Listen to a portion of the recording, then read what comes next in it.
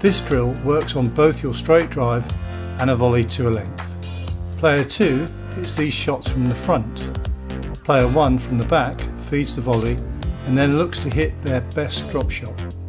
Hit X amount of feeds and then swap with player 1 moving to the front. Player 1 feeds a volley for player 2 from behind the short line. Player 2, moving from the T, hits a deep volley off the feed. Player 1 then looks to hit their best drop shot of player 2's volley. Player 2 then moves forward and hits a backhand drive tight to the wall to a good length off the drop shot. The drill then continues for X amount of feeds, then the players swap round.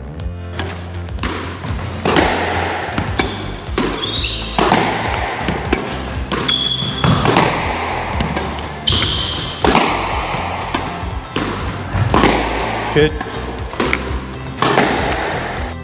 move on to the other side of the court and repeat the drill on your forehand side.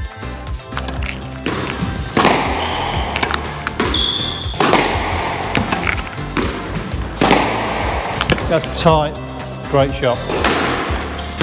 Volley.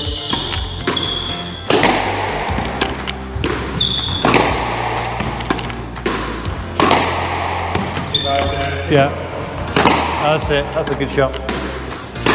So's that.